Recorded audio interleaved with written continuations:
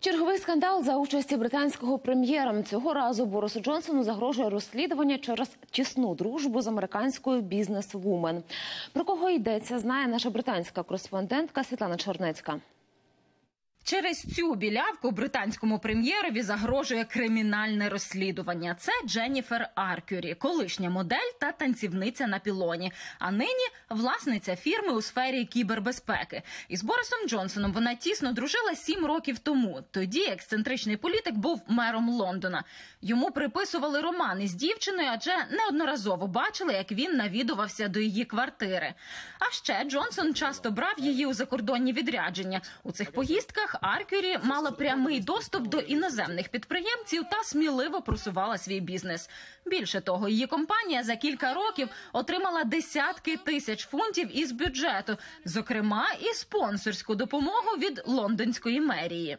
Недарма про цю загадкову дружбу згадали тепер, адже бізнес Дженніфер Аркюрі знову отримав грант із британського бюджету аж на 100 тисяч фунтів. І найбільше питання в тому, як американській фірмі вдалося виграти конкурс, розрахований виключно на британські компанії.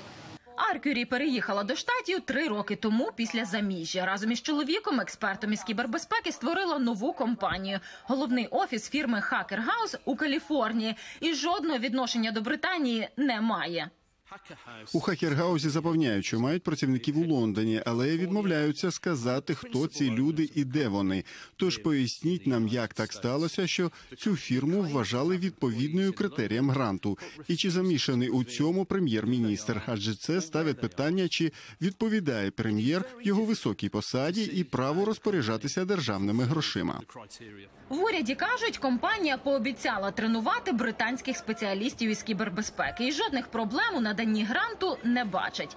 Сам прем'єр теж запевняє, ніколи не порушував закону на посаді голови міста.